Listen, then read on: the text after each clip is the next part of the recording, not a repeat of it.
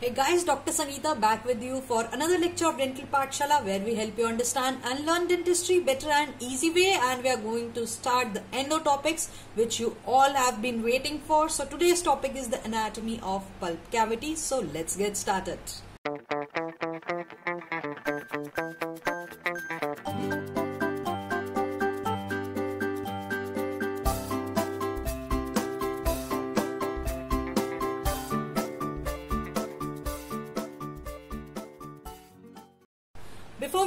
Started, make sure you subscribe to our channel and click on the bell icon that way you get a notification as soon as I release a video lecture. So talking about the anatomy of pulp cavity will be covering in the two parts. Today's video will cover the anatomy of the pulp cavity. We'll read a little bit, little bit about the pulp, uh, everything about the pulp, basically the anatomy of the pulp, the roof, apical foramens and everything and little bit of histology of pulp also we will read. And in the next part second part of the anatomy of pulp cavity we will study all the classifications all the Vertucci classifications the Weine's classification as well as the classification of the isthmus so the second part will cover all the classifications. So starting with the anatomy of the pulp cavity. Now what is a pulp Pulp is a soft tissue.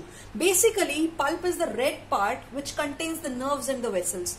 Pulp is that part of the tooth which contains the blood vessels, which contains the nerve. So, it is the part of the soft tissue.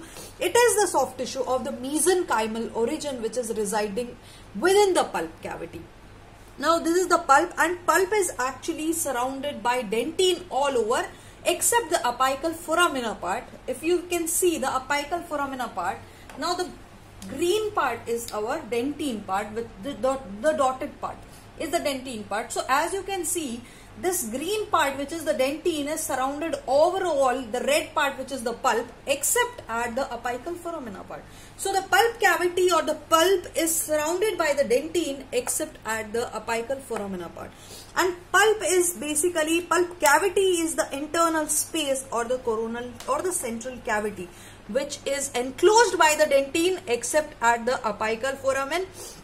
So the pulp contains fibroblast and the odontoblast. Now as we all know fibroblast uh, forms the fibroblast is the main component and odontoblast are the cells fibroblast are the cells which forms the collagen odontoblast are the cells which forms the dentine now odontoblast actually lie in the pulp but they forms the dentine so once we go to the histology of the pulp you will understand that odontoblast are the cells which forms the dentine but they lie in the pulp so the pulp contains fibroblast which forms the collagen and also contain odontoblast which forms the dentine.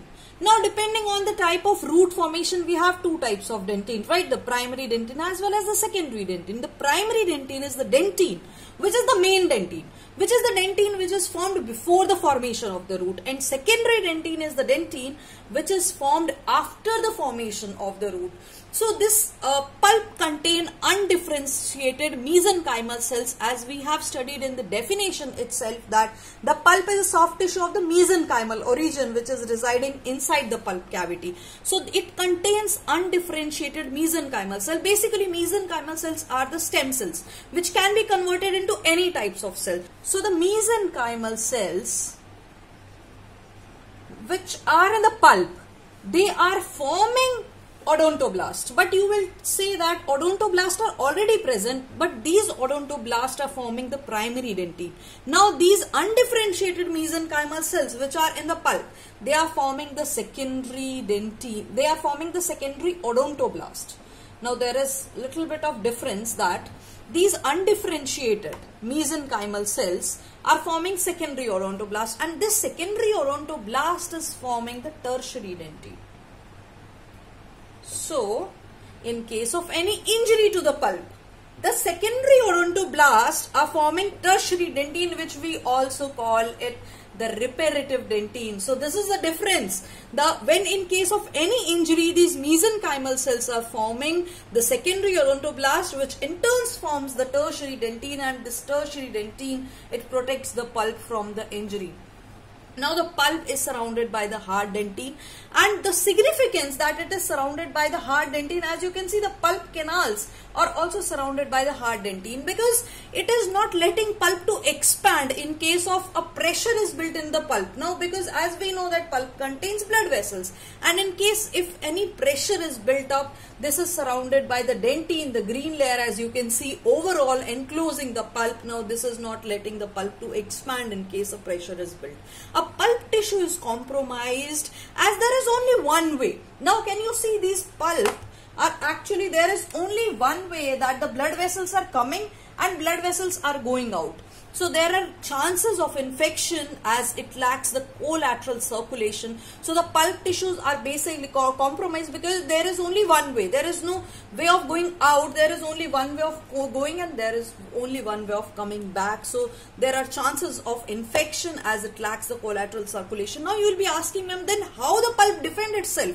If there are high chances then there is a danger to our teeth to the pulps. Then how the pulp is defending? Now in case of slow progressing caries or in case of aging there is calcification which is happening at the tubules and which is not letting uh, which is actually due to the pulpal response. Now in case of a caries any slow progressing caries and in case of age, uh, aging there is a calcification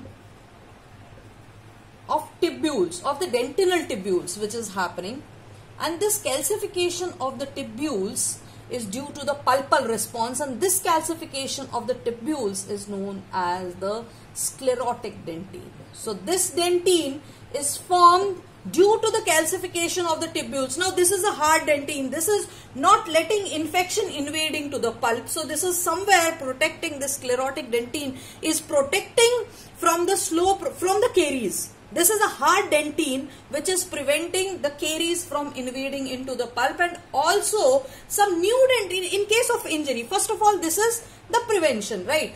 This is not letting the caries enter. So this is the prevention.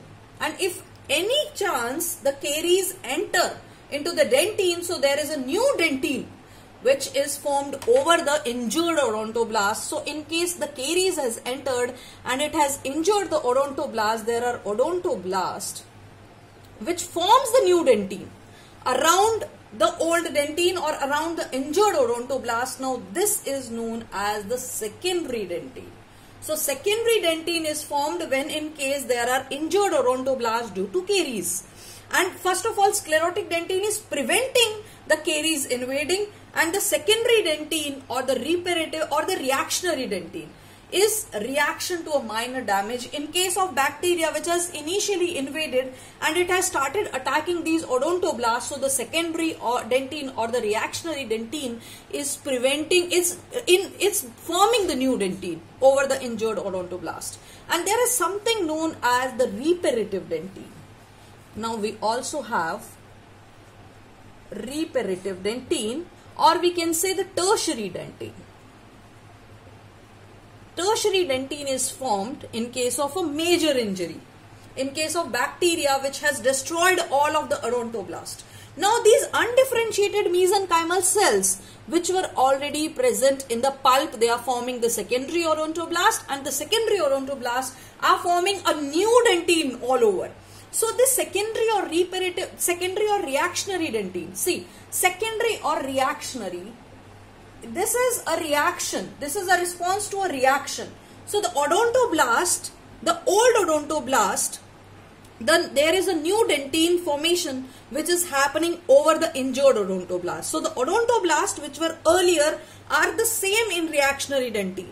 The injured odontoblast are a new dentine is formed over the odontoblast while if we see at the reparative or the tertiary dentine there is a new dentine which is formed all over.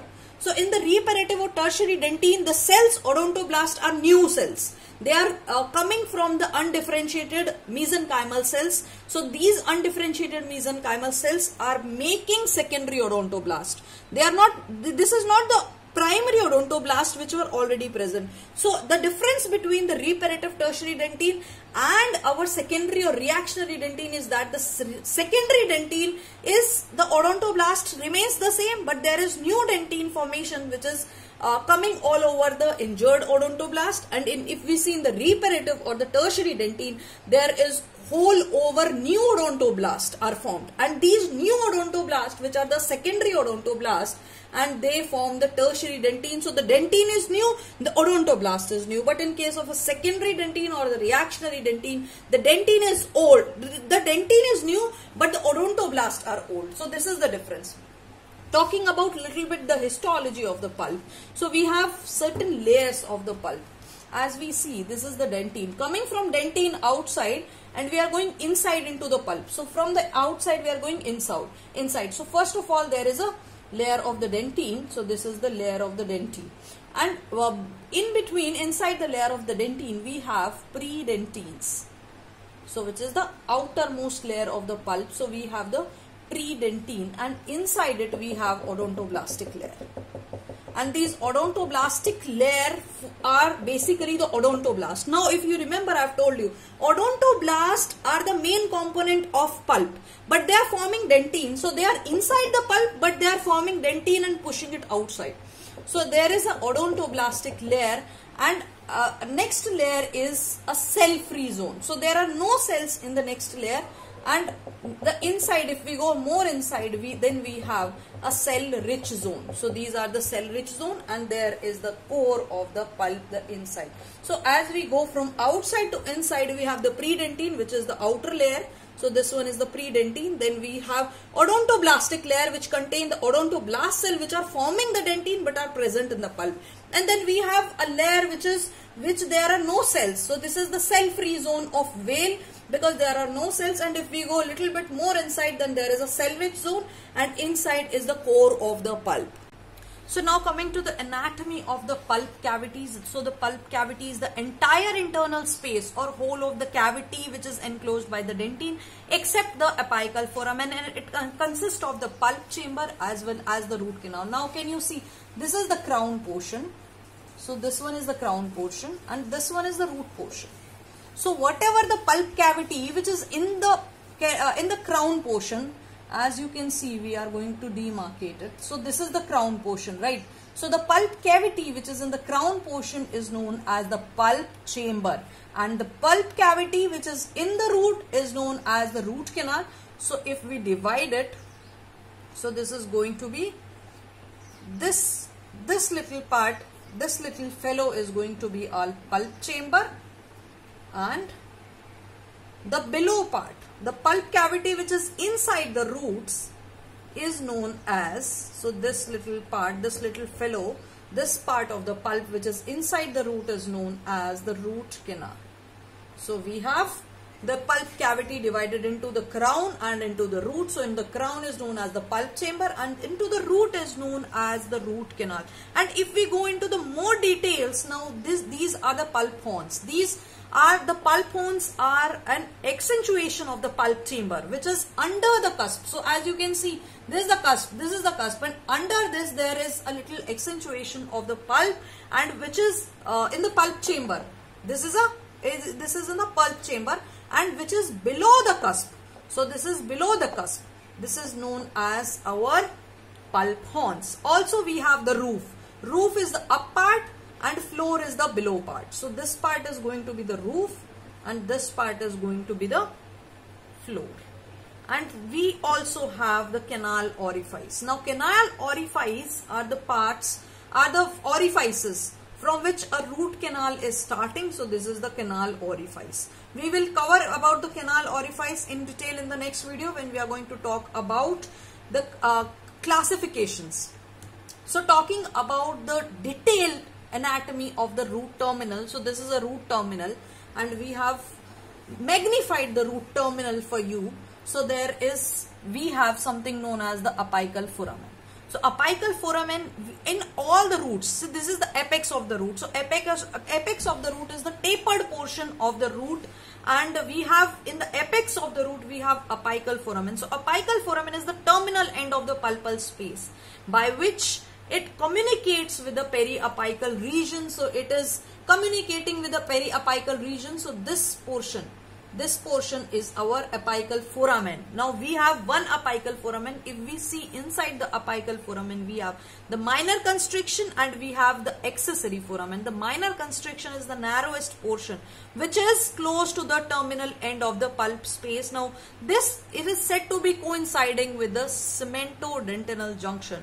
So CDJ, this minor constriction is somewhere close to our CDJ which is approximately 0.5 to 1 millimeter. This is, can you see this? This is the apex of the root. Now the apex of the root is our radiographic apex. So if we say that anatomical apex, so let's zoom it a little bit in detail. Suppose this is the apex of our root. Now the apical foramen is somewhere here. Okay. So this is our apical foramen. And if we see this apical foramen is actually not coinciding with the apex of the root.